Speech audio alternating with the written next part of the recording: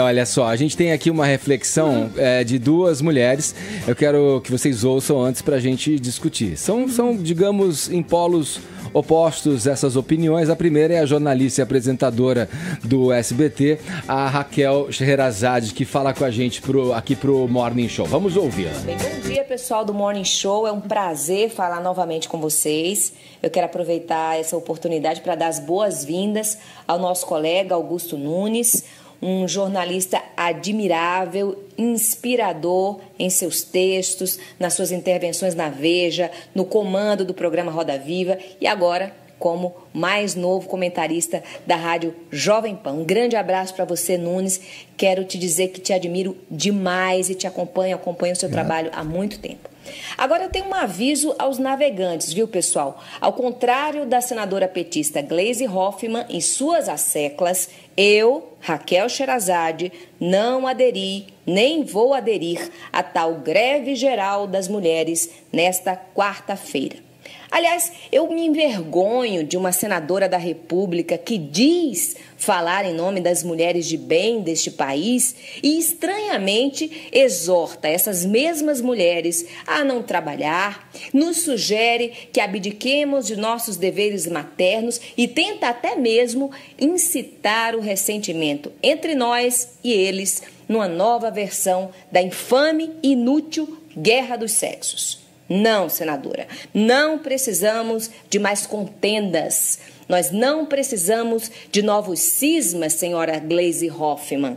A senhora me envergonha não só como parlamentar, mas agora também como mulher.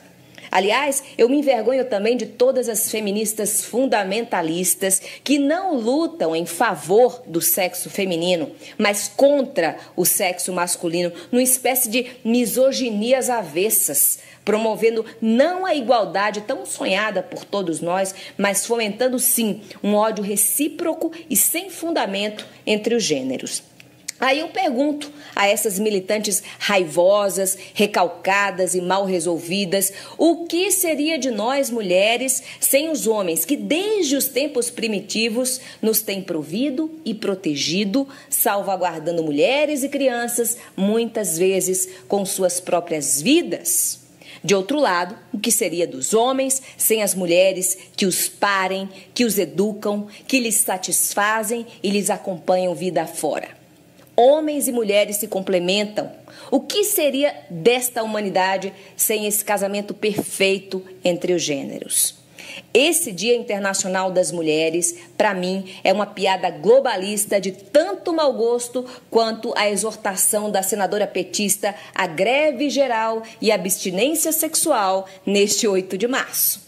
Sinceramente, esta data não significa absolutamente nada para mim. É um dia como outro qualquer.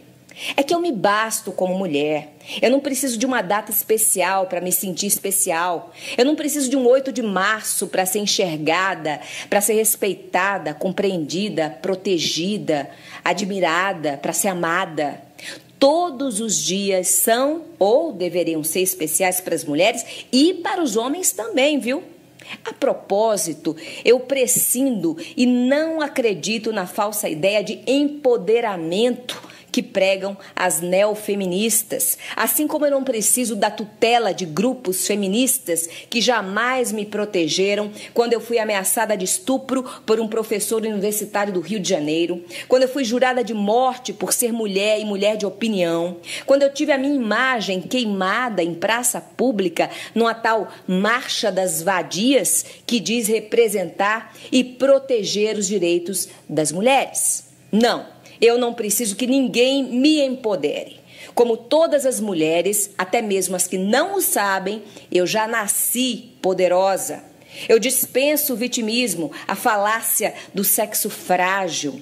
Eu dispenso os privilégios disfarçados de direitos, abomino leis demagógicas e injustas, como a do feminicídio, que contrariam a igualdade garantida na Constituição entre todos os brasileiros e que fizeram a vida de um homem valer menos do que a vida de uma mulher. Para mim, quando se fala no valor de uma vida, não há que haver hierarquia entre homens e mulheres ou entre mulheres e nascituros, é bom lembrar.